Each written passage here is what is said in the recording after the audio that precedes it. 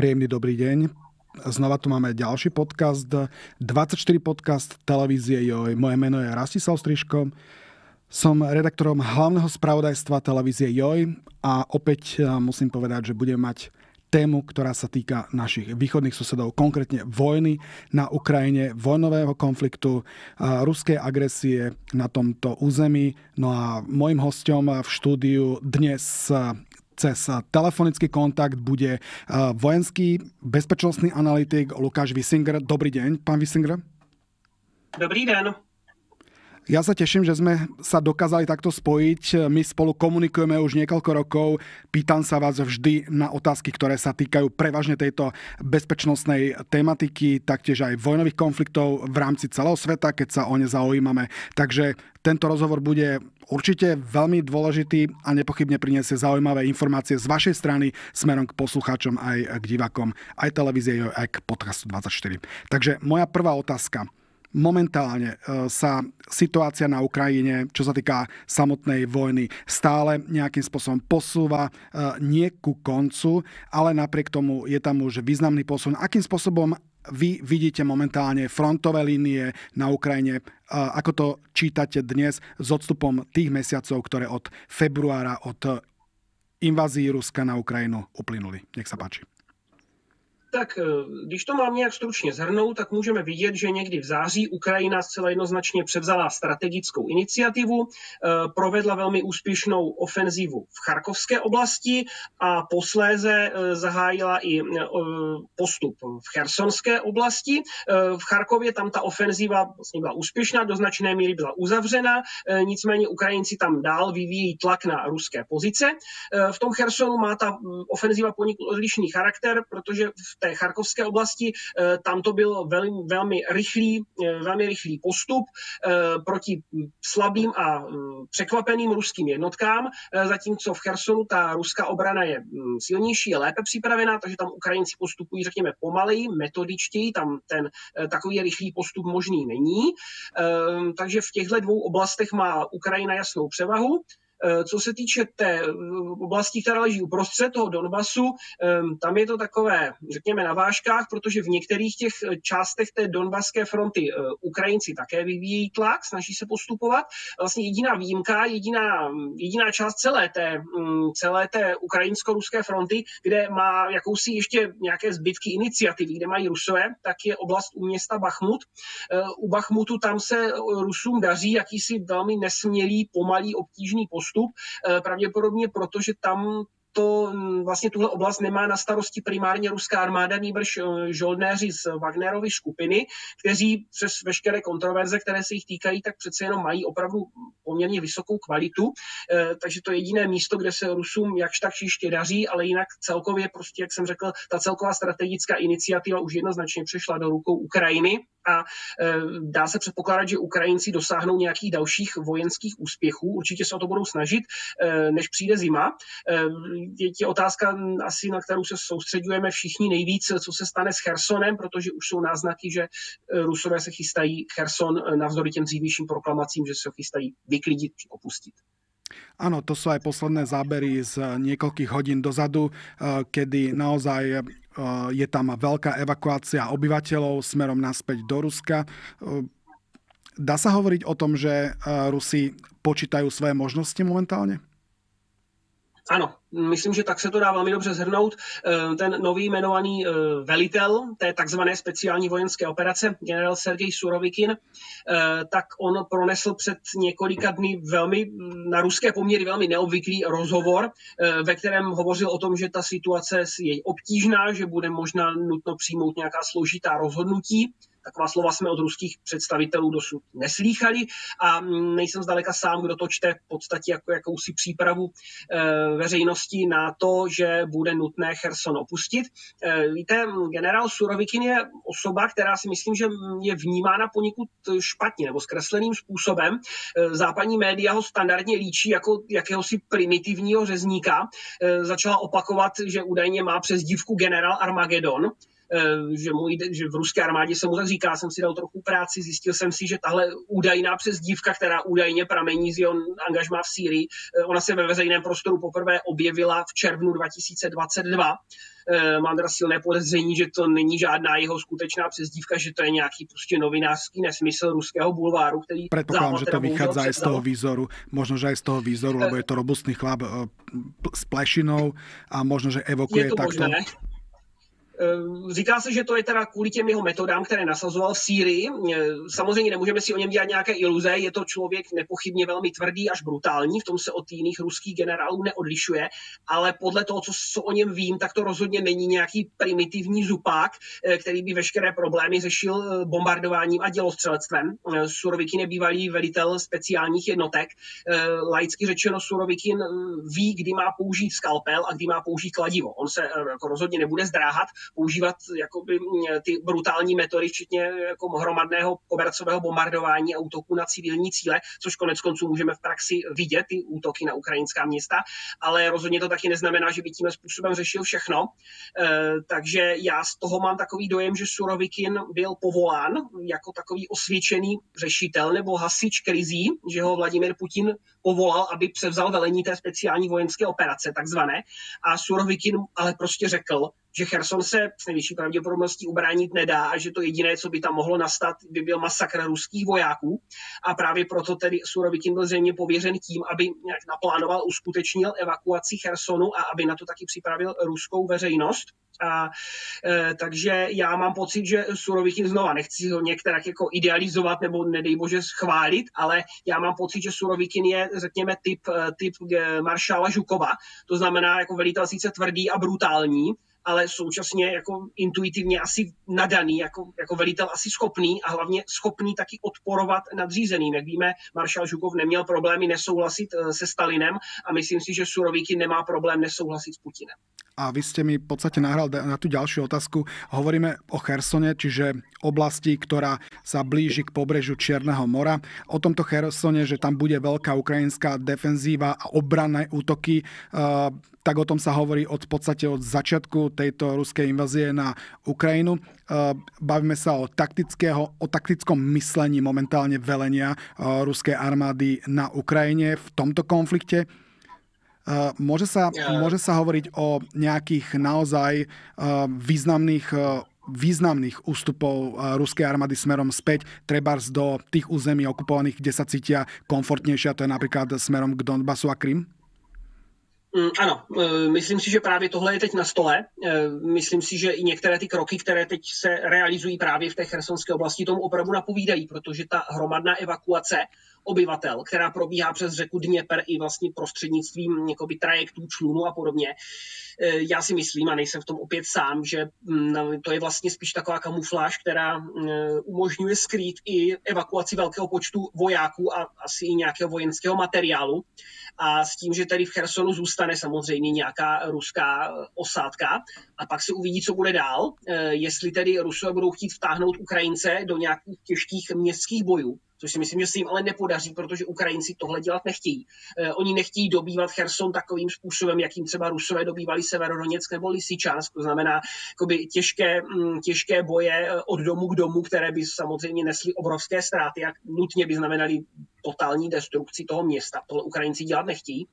Takže si myslím, že Rusové tam spíš ponechají nějakou menší, mm, menší jakoby vojenskou posádku, eh, tu tam nechají nějakou dobu bojovat a poté ta posádka buď, buď kapituluje, eh, přejde do zajetí, nebo se snad nechá pobít, nebo něco takového, eh, aby to tedy aspoň vypadalo, že tedy Cherson nebyl opuštěn bez boje, ale opravdu nemyslím si, že by Ukrajinci chtěli zničit Cherson při těch dobývacích operacích a vypadá to, že Rusové tedy nejsou ochotní, eh, nejsou ochotní tam nechat, eh, nechat tam padnout eh, nebo upadnout do zajetí desítky tisíc vojáků, protože to by byl jediný prakticky možný výsledek, vzhledem k tomu, jaké je tam rozložení sil a rozložení terénu. A myslím si, že právě tohle je tedy úkol, velmi nevděčný úkol pro generála Surovikina, který možná má i na sebe jakoby převzít, převzít tu odpovědnost za tohle, protože tohle samozřejmě jakkoliv z vojenského hlediska je tohle jediná věc, která dává smysl. Z vojenského, to taktického, operačního hlediska to je to, to jediné rozumné, co by Rusové mohli udělat, opustit Kherson, eh, tak eh,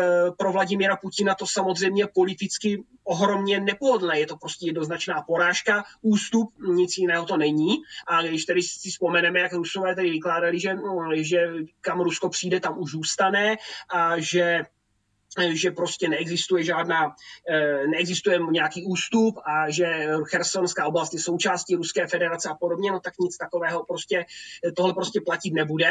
A Rusové se musí připravit na to, že tady je čeká právě eh, jednoznačné přiznání porážky, uvidíme, co bude, eh, co bude potom dál. Předpokládám, že se budou stahovat tedy převážně do toho Donbasu. A potom, co bude dál ohledně Krymu, to je taky velká otázka, protože pořád víme, že Krymský most z hlediska logistiky prostě nefunguje funguje. Eh, protože ta kolejová část je eh, pořád vlastně není opravená, ty vlaky tam nejezdí a ta silniční část ta funguje jenom z poloviny a v podstatě z hlediska armádní logistiky, té ruské, která je prakticky stoprocentně závislá na železnicích, tak rýmský most prostě neexistuje takže na Krymu nastávají těžké časy a to zásobování těch jednotek v Chersonské oblasti probíhalo téměř výhradně z Krymu, no, přes Krym, e, protože ty železnice, které vedou ze severovýchodu přes Donbas, tak ty jsou v dostřelu ukrajinského dělostřelectva a to je pravděpodobně i další důvod, proč se Rusové, ač samozřejmě strašně neradi, tak se rozhodli tu chersonskou oblast aspoň částečně evakuovat, právě protože by nebyli schopni ty svoje vojáky tam e, zásobovat, protože, jak říkám, železnice přes Krym nefunguje a železnice z Donbasu je ostřelována ukrajinskou armádou, takže těm Rusům prostě nic jiného nezbývá. Ano, posledné informace, které přichádzají zo situačné mapy, která reflektuje na aktuálne dianie na frontovej linii, hovorí aj o tom, že Rusi začali opravovať e,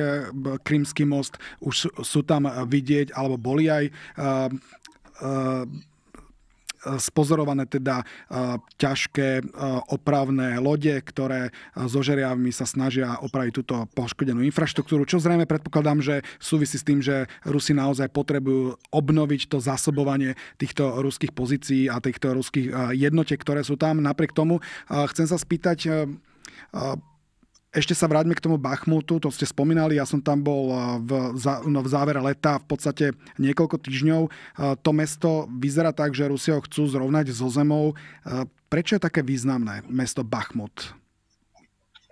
Tohle je velmi zajímavá otázka. Jako Bachmut samozřejmě nedá se říct, že by to město bylo nevýznamné, jako je to, řekněme, je to, je to křižovatka, je to, je to silniční křižovatka, to jako nepochybně ano, ale jako nedá se říct, že by to bylo město, které by bylo třeba tak významné jako Severodoněck z hlediska té, té, Don, té oblasti, toho ovládnutí toho Donbasu. A hodně lidí má pocit, že ten Bachmut už se pro ty Rusy stal spíš jakýmsi nějakým takovým symbolickým mm, prestižním městem, že ho chtějí dobít. A teď je otázka, důležitá otázka, koho vlastně poslouchá Evgenij Prigožin, eh, zakladatel zakladatel a majitel té skupiny Wagnerovců, protože, jak jsem říkal, tam vlastně tu ofenzivu vedou primárně oni, e, to je jejich, takřka jejich operace.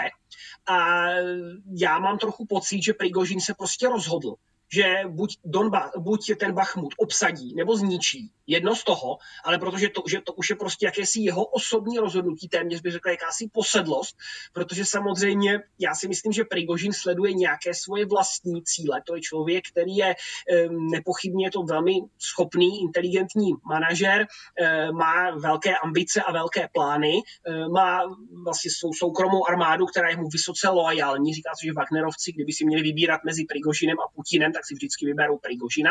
A je to člověk, o kterém, o kterém si myslím, že ještě hodně uslyšíme.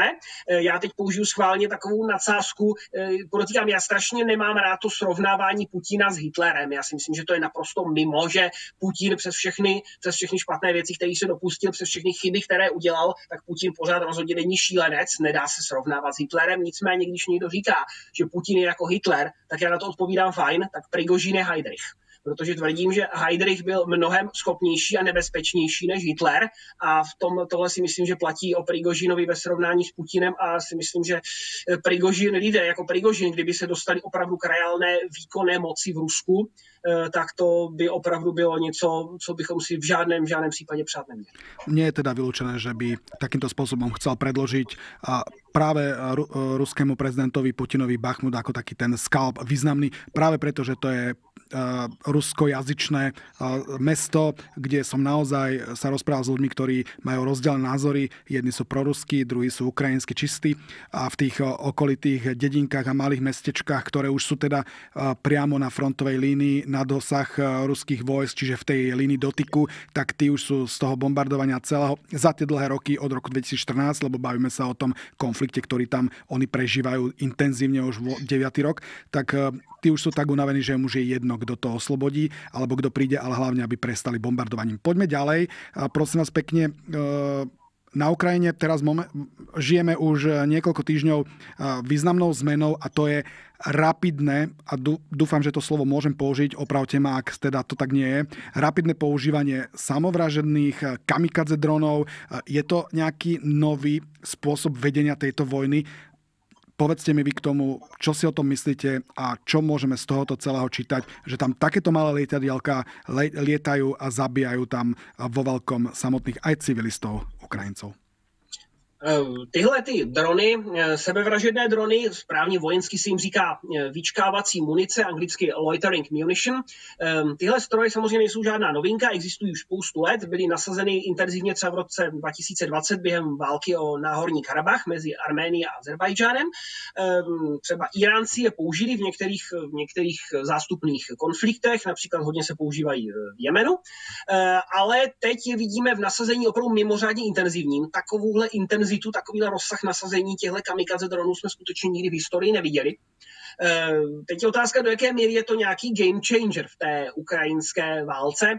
Eh, určitě to je, je to změna, to souhlasím, že to je podstatná změna. I když zase neřekl bych, že to je změna úplně systémového charakteru, která by byla třeba srovnatelná s tím eh, s raketomety HIMARS, které dostali Ukrajinci, že ty opravdu znamenaly změnu prakticky na strategické úrovni, protože HIMARSy dokázali prakticky zmrzačit eh, ruské dělostřelectvo.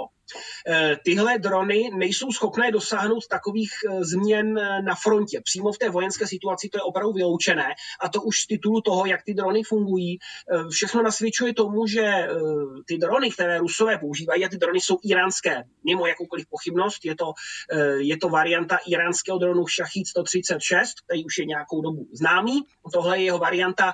Teď není úplně jasné, jestli Rusové prostě jenom přemalovali, nebo jestli se snad v Rusku montují. Některé zdroje naznačují, že snad v Rusku má probíhat montáž těchto dronů, a prostě je to iránská konstrukce dronu. Iránci mají několik variant a tohle všechno nasvědčuje tomu podle analýzy těch trosek, že tohle je ta nejjednodušší varianta, která má navádění e, inerciální a družicové, což znamená, že může útočit pouze na předem zadaný cíl o, na nějakých pevných souřadnicích. Ty pokročilejší varianty těchto dronů a je to tak vlastně u většiny té, mm, té vyčkávací munice, jsou ovládané dálkově, e, čili ten operátor může ten dron řídit bezdrátově na dálku a může ho vlastně přímo pomocí kamery, kterou ten dron nese, může ho navést na konkrétní cíl, může zrušit ten útok, může zautočit na jiný cíl a podobně. Tyhle drony, které sledujeme, Rusové jim říkají Geraň 2, Tyhle drony eh, tuhle schopnost evidentně nemají, nesou, pouze, eh, nesou tedy pouze tu eh, satelitní a inerciální navigaci, takže útočí pouze na budovy. Jako takové se tedy nedají použít na frontě, evidentně, to není možné, není možné s nimi zasahovat manévrující vojenské jednotky, ale můžou působit a skutečně působí škody na ukrajinské infrastruktuře. Vlastně kombinace těchto dronů a ruských střel s plochou dráhu letu eh, dost vážně zasáhla ukrajinskou energetickou infrastrukturu, z nich elektrárny, rozvodny, eh, teplárny a tak dále. Prostě pro Ukrajince je to velice těžké, eh, protože prezident Zelenský se zmínil například, že byla zničena nebo poškozena třetina ukrajinských elektráren, takže říkám, pro Ukrajince je to velice složité ale v tomhle smyslu jakoby je to dost podobné, tyhle drony, je to podobná, v podstatě podobná strategie, jakou eh, použili Němci proti Velké Británii, když začali posílat na Londýn ty nechvalně známé létající Pumy V1, protože ty taky neměli prakticky žádný vojenský efekt. Oni dokázali zasahovat jenom eh, velké civilní, eh, velké civilní aglomerace.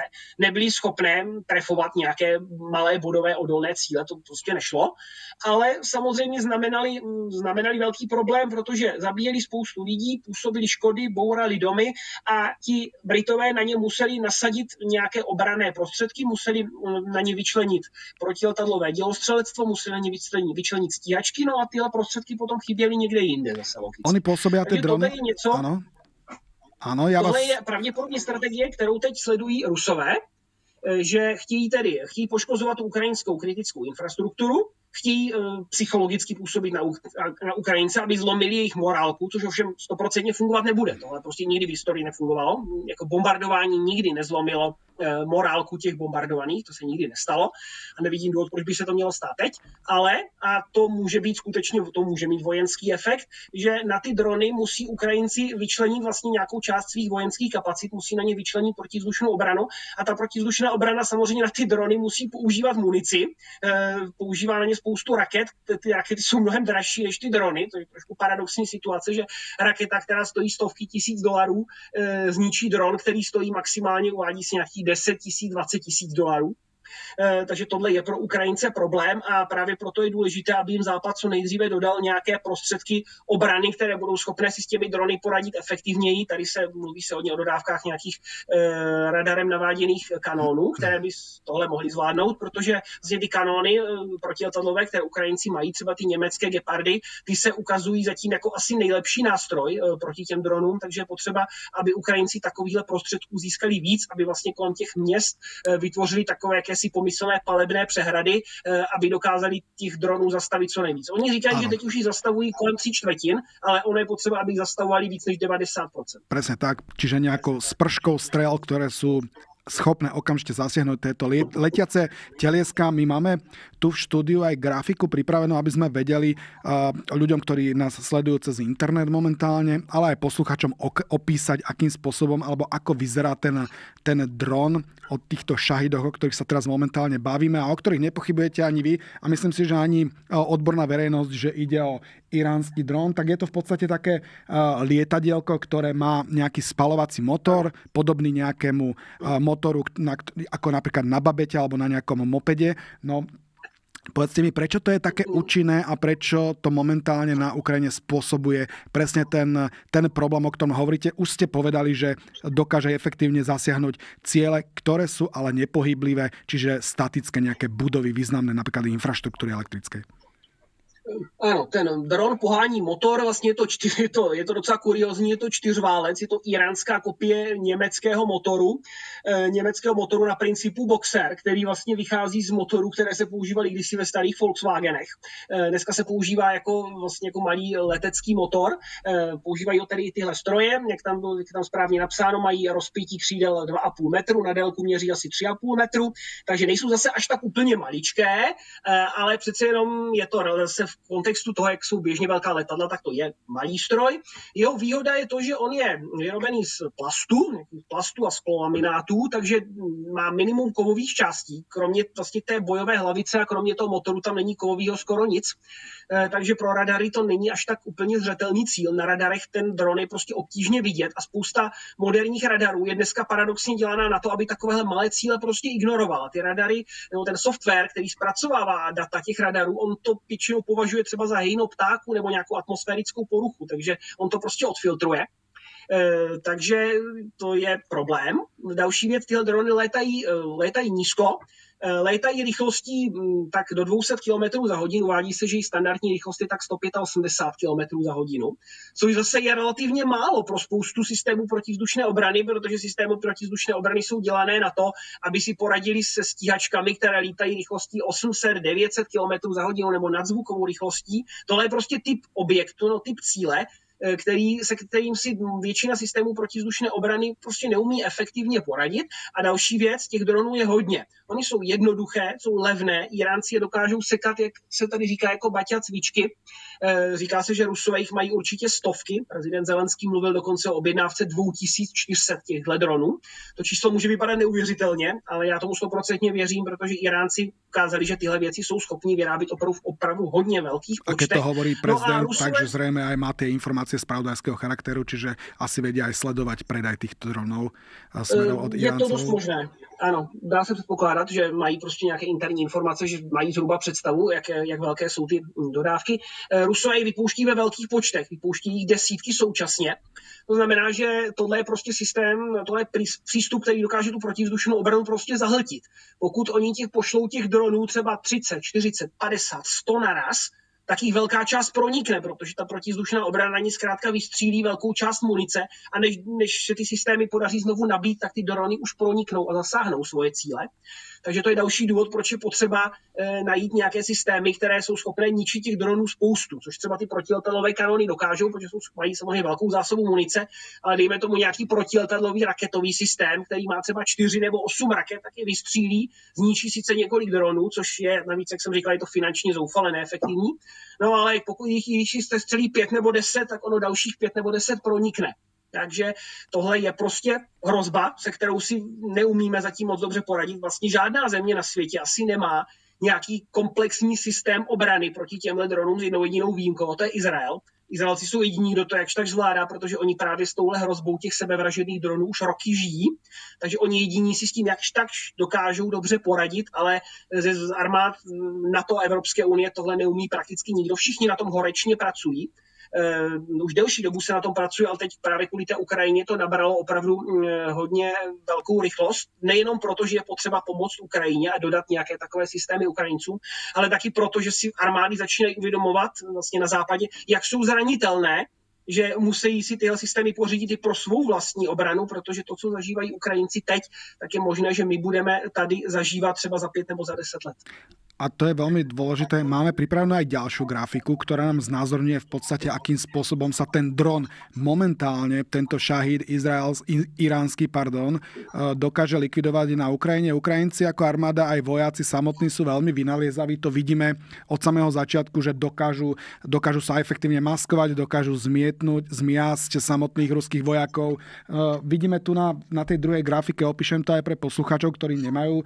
prístup k obrazovému záznamu že Ukrajinci na tieto drony dokážu strieľať samopálmi, dokonca aj ručnými zbraniami, pištolami, ale potom sú tam, na, konkrétne na obrázku máme ten nemecký Gepard, je to vlastne taký tank, ktorý má dva také kanóny, tenšie ako bežný tank a s nimi dokážu strieľať. Je to systém protilietadlovej obrany alebo protileteckých, ničenia protileteckých útokov. Chcem sa opýtať práve na toto, ako je možné, alebo respektíve o čom to svedčí, že Rusi pristúpili k tomu, že začali tak intenzívne a na možno aj prekvapenie samotných uh, vojenských špecialistov, expertov a sledovateľov uh, používať práve takéto drony. Vy ste povedali, že je akútne potrebné nájsť efektívne likvidácie takýchto letiacich objektov, samovraždných kamikadze dronov. Tak o čom to svedčí, že Rusi pristúpili k takémuto masívnemu používaniu týchto kamikadze dronov?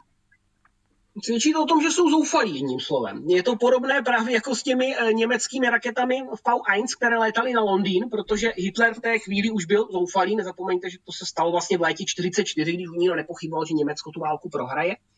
Eh, Rusové sami se dostali do situace, že mají vlastně velmi malé zásoby vlastních naváděných zbraní. Oni už jich vypotřebovali velkou část. Uvádí se, že už jim zbývá ani nesnad třetina eh, jejich eh, přesně naváděných zbraní, například těch přesných balistických raket přes plochou dráhou letu a podobně. Takže museli najít nějaký jiný způsob a obrátili se na Irán, protože Irán je dlouholetým ruským spojencem a Rusové dobře vědí, že Irán má schopnost vyrábět tyhle kamikaze drony ve velkých počtech.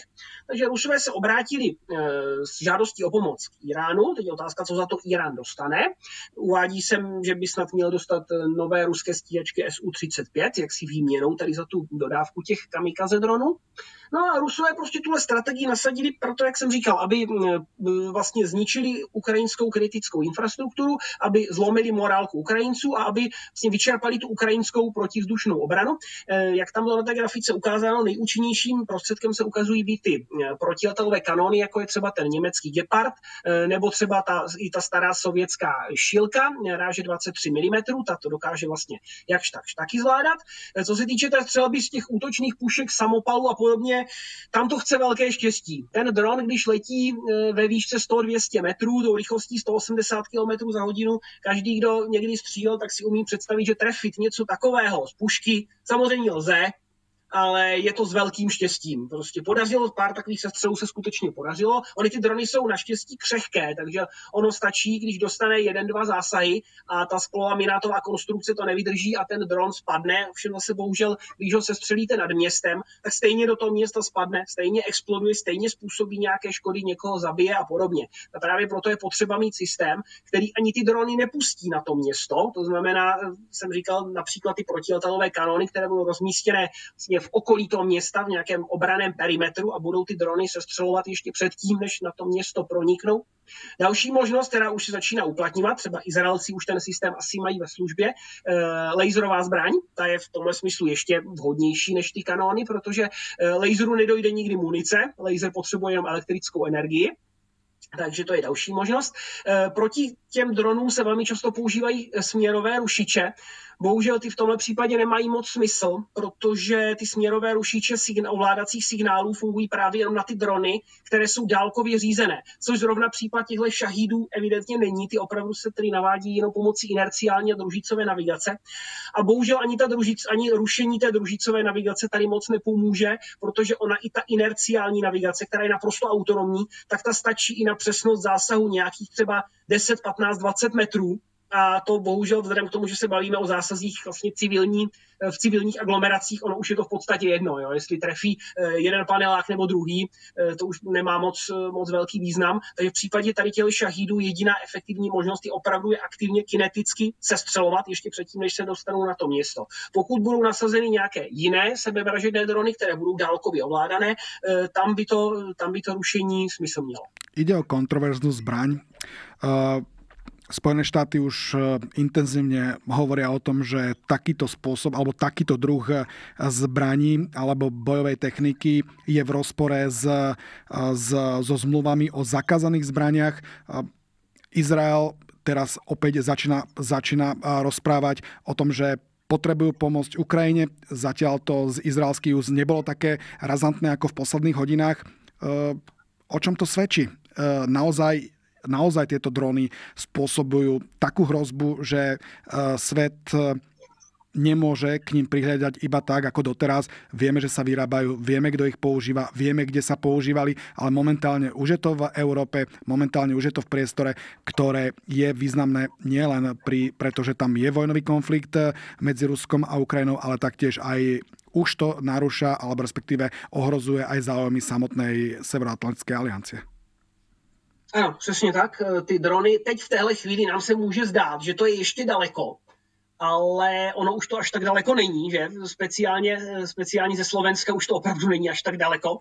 E, taky já si myslím, že se taky může klidně stát, že nějaký ten dron zabloudí třeba na západ Ukrajiny, nebo nedej bože třeba na Slovensko nebo, nebo do Polska, to se klidně taky stát může. Eh, je to prostě problém, se kterým si budeme muset poradit, protože ta úroveň těch dronů, tady těch sebevražených dronů, nepochybně poroste. Bude přibývat států, které je budou používat. Eh, bude jich čím dál víc. A evidentně se ukazuje, že to je prostě v určitém smyslu efektivní zbraň. Ono se říká, že to je vlastně taková střela s plochou dráhou letu pro chudé. On, tenhle dron je samozřejmě oproti té střele s plochou dráhou letu je mnohem pomalejší, eh, je jednodušší ho zastavit, ale mm, je mnohem lacinější a eh, je mnohem lacinější a je mnohem dostupnější. Eh, není to zas tak složité ho vyrobit a to ve velkých počtech. Eh, takže prostě musíme s tím počítat jako s velmi, eh, s velmi vážnou hrozbou. A to, že vlastně Izraelci začínají kvůli těmhle dronům měnit svou retoriku, eh, asi začínají postupně celkově proměňovat ten svůj postoj k té válce, to svědčí o tom, že si Izraelci právě uvědomují, jaká je to, že to je dlouhodobá hrozba, protože, jak jsem se zmiňoval, oni v téhle hrozbě žijí už delší dobu, protože proti nim ty sebevražedné drony opakovaně byly použity, oni prostě ví, o co je, a uvědomují si, že Iránci nepochybně dostávají od Rusů zpětnou vazbu o tom, jak ty drony se osvědčují, jak se daří zasavat různé druhy cílů, eh, jak, se, jak jsou úspěšná různá ukrajinská protiopatření. No a zase z tohohle můžou eh, Iránci nesmírně těžit, protože oni potom můžou na základě toho ty svoje drony modernizovat, můžou nějak upravovat jejich taktiku nasazení. No a to už je něco, co by ten Izrael mohlo přímo ohrožovat. Jak jste se správně zmínil, víme, kde se ty drony vyrábí. To vlastně jedna zcela konkrétní továrna, která patří iránským revolučním gardám. Existují krásné satelitní fotografie téhle továrny, eh, takže tady se logicky nabízí možnost s tímhle prostě něco udělat. Mě by vůbec nepřekvapilo, kdyby se Izraelci rozhodli nějak zasáhnout. Izraelci opakovaně prokázali, že jsou schopni udeřit v Iránu na prakticky jakýkoliv druh cíle. Čiže zničiť tu továrnu. Vůbec by mě nepřekvapilo, kdybychom prostě jednoho ráno se probudili a přečetli si zprávu, že, že v Iránu vyletěla do vzduchu továrna na výrobu dronů. Eh, samozřejmě teď je otázka, jestli Rusové už náhodou nemají schopnost ty drony vyrábět sami, jestli nezískali od, od Iránců vlastně know-how a technologie na, na nějakou licenční výrobu nebo montáž těch dronů. To by pak samozřejmě zase znamenalo další, další problém, ale přece jenom ani ty iránské, ani ty ruské kapacity nejsou přece jenom neomezené. Jsou velké, ale ne neomezené. Je teď, teď je nejdůležitější soustředit se na obranu proti té hrozbě, která je teď, to znamená na to, aby Ukrajina co nejrychleji dostala nějaké obrané systémy, které ty které si s těmi drony dokážou poradit. Jsem říkal ideálně asi ty protiletadlové kanony v nějakých větších počtech. Eh, a v, další, v dalším ránku se musíme začít bavit o tom, eh, jak podobnými, ale vyspělejšími třeba systémy vybavit armády, armády Severoatlantické aliance, protože, jak jsem říkal, ty drony se budou zlepšovat, budou kvalitativně účinnější, budou výkonnější, budou rychlejší, budou mít větší dosah, ponesou větší bojové hlavice, budou mít sofistikovanější navádění Eh, musíme s tím prostě počítat a jak jsem říkal, prakticky nikdo na západě nemá v téhle chvíli nějaké efektivní obrané systémy, které by si s touhle hrozbou dokázali opravdu eh, systémově poradit a poradit, jako poradit si s jedním, s dvěma, s třemi, s deseti takovými drony asi ano. Ale, ale ještě to neřeší systém. Neustále, neřeší to samostatný problém. Neustále, tak pokud jich budou útočit desítky nebo i stovky, jak teď vidíme na Ukrajině, tak s tímhle si prostě neporadíme, protože na tu první nebo nejpozději druhou vlnu bychom prostě vystříleli veškeré zásoby protiletadlových raket, co máme, a pak už bychom se ocitli bez ochrany. Získali Ukrajinci takýto kompletný dron, respektíve také významné súčasti tohto, tohto malého uh, motorového lietadielka, aby dokázali identifikovať jeho zloženie, aby dokázali identifikovať, odkiaľ uh, bol alebo odkiaľ pochádza, kto ho zostrojil a aby vedeli na základe takej, takéto súčasti aj vyvinúť nejaký účinný, účinnú zbraň proti uh, tomuto? Zatím naprostá většina těch dronů, které se podařilo najít, tak se vlastně z nich našly jenom kousky, protože ve chvíli ten dron exploduje, tak z nich zůstane jenom zadní část, zůstanou ta zadní kormidla a většinou i ten, i ten motor e, spalovací, ale minimálně jeden kus už se podařilo najít prakticky jo, málo poškozený, protože asi mu nějak selhala navigace či co a spadl do moře Myslím, že někde u Mikolajiva se podařilo tenhle dron eh, vylovit, no, vyplavilo ho moře na břeh, eh, takže tenhle dron je teď proskoumáván. Eh, už se objevily teda nějaké předběžné hm, výsledky téhle analýzy a skutečně se teda ukazuje, potvrdilo se, že tyhle drony nemají žádné, hm, žádné jakoby dálkové koncové ovládání, že se tedy navádí pouze za pomoci té satelitní inerciální navigace což tady jednoznačně říká, rušičky tady mnoho smyslu nemají, potřebujeme ty drony, eh, drony sestřelovat. Čili jakoby ta analýza nepřinesla jakoby nic nového, ale eh, potvrdila to, co se dřív předpokládalo a mm, vlastně i generální tajemník Severoatlantické aliance Jens Stoltenberg se eh, si před třemi nebo čtyřmi dny se vyjádřil, že Ukrajina by měla dohledné no co nejkratší době dostat nějaké obrané systémy. Eh, země Severoatlantické aliance samozřejmě vyrábí nějaké zbraně, které by do tohohle, které by tady do tohohle mohly zapadnout, které by se dali použít. Kromě těch protiletadlových systémů Gepard, které už jsme zmiňovali, tak ví se, že třeba německá firma Rheinmetall vyrábí, vyrábí systém, v podstatě to něco podobného jako ten Gepard, ale není to mobilní, může to být, no, může to být mobilní na nějakém jiném podvozku, může to být uděláno jako statické, každopádně je to vlastně kanon, rychlopalný kanon ráže 35 mm, který se navádí, který se navádí radio, s radiolokátorem, vlastně radiolokátor řídí palbu toho, eh, palbu toho kanonu. Jak jsem se zmiňoval, oni ty drony eh, normální radary eh, nezobrazují. To není o tom, že by je nezachytili, oni je zachytí, ale považují je obvykle za nějakou, za nějakou nebo za, za hejno ptáků, takže je potřeba upravit software, eh, řídící systémy těch radarů, aby tyhle věci neodfiltrovaly. Vlastně je potřeba jak si naučit ty radary, aby rozpoznávali ty drony. Samozřejmě ten dron má zase, on má nějaký, ten radarový profil toho dronu je malý, ale je charakteristický, dá se rozpoznat, že v momentu, kdy ten radar v útovkách naučíme, aby ten dron poznával, tak pak samozřejmě už to může jít eh, podstatně s nás, ale zase to všechno chce nějaký čas. Eh, takže není to jednoduché, ale je velká snaha těm Ukrajincům opravdu co nejvíc pomoct a eh, pokud má tahle válka nějaký pozitivní efekt, tak to, že se že spousta věcí, které za jiných okolností by šly strašně dlouho, strašně pomalu, nebo možná by nešly vůbec, tak se teď prostě daří je realizovat. Já na mátkou můžu se zmínit třeba o tom, že se podařilo vlastně, jak víme, Američanům a Ukrajincům se společně podařilo integrovat americké protiradarové řízené rakety na ukrajinské stíhačky, což je něco, což by, co by prostě před rokem vypadalo jako naprostá sci-fi, ale jim se to během nějaké relativně krátké doby povedlo. Tady prostě improvizace improvizace jsou teď dovolené, způsobem, jaký dřív dovolený nebyl, takže si myslím, že se podaří, doufám, že se podaří během nějaké krátké doby najít nějaký způsob, eh, jak si s těmi drony efektivně poradit, ale prostě dokud se to nepodaří, tak Ukrajinci bohužel budou muset zatnout zuby a vydržet to. Eh, oni se ukazují jako velmi mm, odolní, velmi schopní, co se týče opravy té, opravování té energetické infrastruktury. Eh, sice Rusové jim dokážou ty elektrárny poškozovat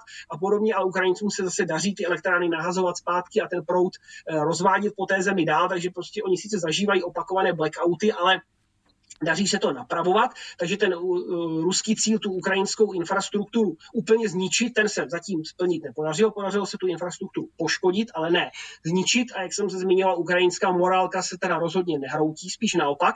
Stejně jako v případě toho, hm, té druhé světové války, eh, Brit, německé bombardování nezlomilo britskou morálku, Stejně tak spojenecké bombardování nezlomilo německou morálku, ale protože nikdy v historii nefungovalo. Pokud si Rusové myslí, že teď to bude fungovat, tak bych rád slyšel nějaký historický příklad, který by mohli uvést na podporu tohoto tvrzení.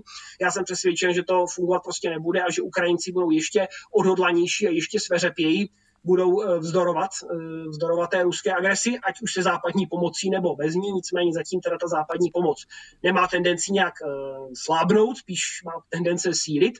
Eh, takže uvidíme, co, s, čím se vlastně teď, s čím se vlastně teď Západ eh, vytasí proti těm iránským dronům v ruských službách a jestli se třeba i nějak významněji posune eh, ta pozice Izraele, protože, jak jsem se zmínila, Izraelci mají s tím největší zkušenosti, oni o těch dronech vědí nejvíc, už se objevily vlastně neoficiální zprávy, že Izraelci dodávají informace Ukrajině o tom, jak s těmi drony bojovat. Dokonce se objevila zpráva o tom, že Izraelci dodali do Polska nějaký systém pro obranu proti dronům, ale ten systém se následně okamžitě přesunul na Ukrajinu a že izraelská vláda o tom věděla a že nic nepodnikla Přestože oficiálně se teda drží pozice, že Izrael je neutrální, že nedodává Ukrajině zbraně, eh, tak v tomto případě izraelská vláda prostě mlčela. Je to už jakýsi náznak toho, eh, že ta izraelská pozice se jakoby pomaličku a tiše, ale přesto začíná měnit. Eh, já si umím docela realisticky představit scénář, že Izraelci by třeba tiše kývli na to, že by nějaké izraelské obrané systémy, a jsem říkal, Izraelci jsou jediní, kdo tohle by asi dokázal si s tím poradit, že ty izraelské obrané systémy by se takhle mohly dostávat na Ukrajinu přes nějakou nějakou třetí zemi. Eh, třeba ten, izraelský, ten známý izraelský systém Iron Dome, eh, který byl teda původně vyvinutý proti raketám, ale má i velmi dobré protidronové schopnosti. Ta železná klietka izraelská pověstná? která ano, tvoří? Ano, ta by, určitě, by, určitě by Ukrajině velmi pomohlo. Tohle je něco, co by si s těmi drony dokázalo skvěle poradit.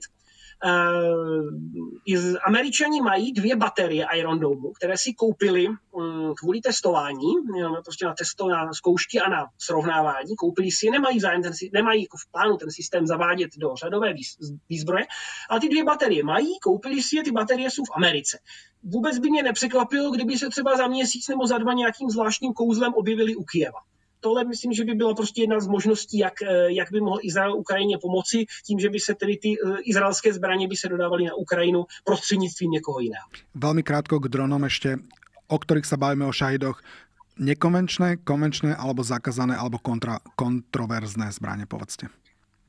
Uh to kontroverz, záleží na tom, co budete definovat jako kontroverzní nebo konvenční. Jako je to konvenční zbraň v tom smyslu, že to není zbraň hromadného ničení, je to prostě pořád, je to jakási, prostě, je to prostě jakási střela, která sice má vrtulový pohon, ale je to co si tady jako střela s plochou dráhou. Čiže nějaký nosič výbušniny. E, tak eh, to jako samozřejmě eh, ta zbraň jako taková, řekl bych, že žádné dohody neporušuje, ale eh, ty dohody porušuje Rusko tím, že zcela evidentně tyhle střely záměrně posílá na civilní oblasti. A to už se nesmí, to je porušení některých mezinárodních konvencí, protože jakoby vypouštět vlastně smrtící zbraně proti jednoznačně, jednoznačně civilním cílům je prostě zakázané. Rusové samozřejmě tvrdí, že žádné dohody neporušují, že míří pouze na kritickou infrastrukturu, a ono třeba elektrána nebo rozvodna je samozřejmě legitimní vojenský cíl, ale když vidím, jakým způsobem ty drony dopadají na ten Kiev a na další města, eh, přece jenom eh, to družicové navádění má přesnost v jednotkách metrů.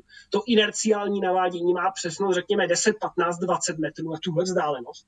A kdyby ty drony dopadaly v okolí, ale jenom v okolí elektráren, tak bych tomu ještě jako z čistě vojenského hlediska rozuměl. A my prostě víme, že spousta těch dronů dopadá do, třeba do sídlišť, do jednoznačně pouze obydlených Eh, obytných zón, kde žádný vojenský cíl není. Takže já mám prostě pocit, že Rusové vypouští tak nějak jakoby na zdař Bůh, na, prostě na ta, na ta ukrajinská města a jako je v podstatě jedno, co tam zasáhne. Už ste mi eh, v predchádzajúcich rozhovoroch naznačili, že to považujete jednoznačne za terorizmus alebo terorizovanie obyvateľstva takýmto nepripustným spôsobom. Poďme k tomu, ale čo nám ešte Rusko hovorí na frontových líniách, v ktorých okupuje územia Ukrajiny.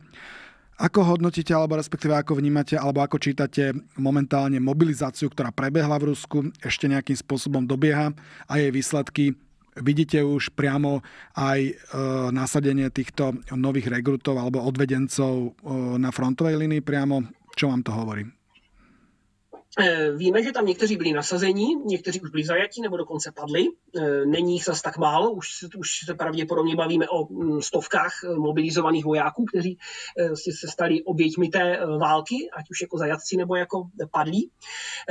Takže už tam dorazili na tu frontu, spousta z nich nemá evidentně prakticky žádný výcvik, někteří mluví o tom, že vlastně je přivezli na nějakou základnu, tam je zavřeli na několik dní a potom je zase pustili ven a poslali na frontu a prohlásili, že mají několika denní výcvik, což je samozřejmě jako absurdní.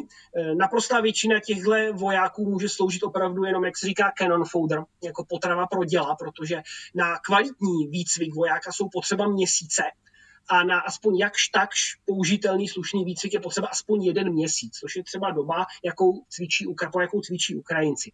Vlastně standardní výcvik, zrychlený výcvik ukrajinského pěšáka e, dneska trvá dneska trvá zhruba čtyři týdny eh, s tím, že specialisté, jako třeba operátoři protitankových střel nebo no, střelovači, ti mají ještě o dva týdny další výcvik, takže šest měsíců. A říkám, standardní pěšák čtyři týdny nebo měsíc, což je taky mimochodem doba, eh, jak dlouho se čeká na vstup do ukrajinské armády. Ukrajinská armáda nemá nedostatek lidí, to v žádném případě, má jich pořád dost, ale prostě ty výcvikové kapacity jsou omezené. S čemuž teď ale hodně pomáhá to, že i země NATO už začaly cvičit ukrajinské vojáky, například Britové nebo Poláci. Francouzi se těž hlasia, že asi zřejmě k tomu přistupí?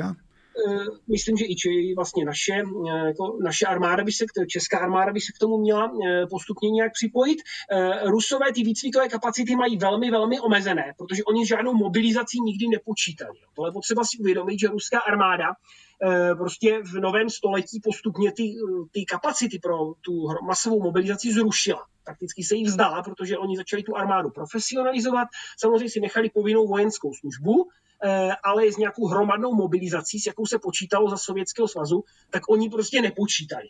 Jo, třeba Československá lidová armáda za minulého režimu s tou mobilizací skutečně počítala. Její mírový stav činil v 80. letech asi 200 tisíc mužů, ale byly tady skutečně kapacity pro mobilizování eh, dalších 800 tisíc, čili Československá lidová armáda ve válečném stavu by opravdu měla milion vojáků. Samozřejmě dost proměnlivá kvalita, ale třeba nikdo nepochyboval o tom, že proti vojáky jsou tady uniformy a výzbroj. Zatímco v tom Rusku, jak se ukazuje, že ten eh, nedostatek té výzbroje a výstroje vede k skutečně absurdním situacím, protože někteří z těch vojáků eh, dostávají eh, ocelové přilby, které se používaly za druhé světové války, což mi připadá opravdu jako totálně bizarní takže tímhle způsobem jako nejde získat nějakou opravdu kvalitní, eh, kvalitní moderní armádu. V žádném případě ne. Tím je možné získat prostě eh, DAF, jakousi masu, eh, masu vojáků, která se ale dá jako v moderní válce použít velmi těžko a ty výsledky tomu odpovídají a pokud třeba Rusové budou chtít tyhle vojáky nasadit do nějakých jako hromadných lidských vln, Eh, proti ukrajinským pozicím, tak výsledkem může být jedině strašlivý masakr. A to je něco, co by mohlo už začít ohrožovat i politickou pozici Vladimira Putina, protože ta nespokojenost v té ruské společnosti roste a eh, tím, jak se teda ti mladí Rusové začínají vracet domů eh, v rakvích, tak to je něco, co si vlastně v takovémhle měřítku ruská společnost to naposled zažila během války v Afghánistánu v 80. letech a právě vlastně to, jak ta válka v Afghánistánu se vedla, jak mizerně dopadla a jaké ztráty zaznamenala sovětská armáda, to byl nepochybně jeden z velmi důležitých faktorů, který vedl k, k konci a rozpadu Sovětského svazu. Ano, uh k tej výstroji som sa chcel dostať, ale vy ste to v podstate aj e, teraz zhrnuli, že výstroj týchto ruských vojakov, ktorých nachádzajú aj Ukrajinci potom na tých oslobodených územiach. Ja konkrétne som videl naozaj výstroj vojakov, ktorá mi pripadala skôr ako taká uh, hračkárska uh, alebo rybárske gumáky. Takže uh, naozaj je to pozoruhodné, čo sa tam deje. Uh, ja by som vám tomto okamihu aj poďakoval za vaše vyčerpajúce informácie. Lukáš Wisinger, bezpečnostný a vojenský analytik, ďakujem veľmi pekne, že ste si našli čas. Eh, Děkuji za tuhle příležitost. Možná k tomu, co jste řekl, doplním ještě jednu věc, kterou jsem viděl před pár dny, která mě naprosto šokovala, že někteří eh, ruští vojáci dostali místo balistických neprůstřelných vest, eh, dostali vesty, které se používají na airsoft, za jejich ochrana schopnost je v podstatě nulová. Ono se ukázalo, že tyhle vesty byly zrovna ve velké slevové akci na AliExpressu, takže zřejmě někdo mhm. hromadně nakoupil a rozdal těm ruským vojákům a e, teda jako asi v domění, že nepoznají ten rozdíl. A já jsem si jistý, že ten rozdíl teda poznají a to velice brzo, akorát si nejsem jistý, jestli tu, e, jestli tu znalost potom budou moct ještě nějak využít. Ano a doplním, že tyto vesty sa môžu použiť ako nosiče tých práve balistických ochranných štítov, ktoré sa tam vkladajú. Toto robia aj Ukrajinci, robia to aj iní vojaci, profesionáli. Toto Rusom zrejme naozaj chýba. Takže dúfam, že aj k tomuto sa ešte budeme môcť stretnúť a povedať si teda naozaj, aká je výzbroj ruskej armády, ruského vojaka, jeho balistická ochrana, ktorú zo sebou nosí aj samotné zbranie, ktoré má na sebe. Ďakujem vám ešte raz veľmi pekne a ďakujem vám za čas. Toľko bezpečnostný a vojenský analytik Lukáš Bissinger, špecialista na vedenie vojny, aj pozorovateľ takýchto vojnových konfliktov v celom v rámci celého sveta. Ďakujem ešte raz veľmi pekne. Děkuji, nashledanou.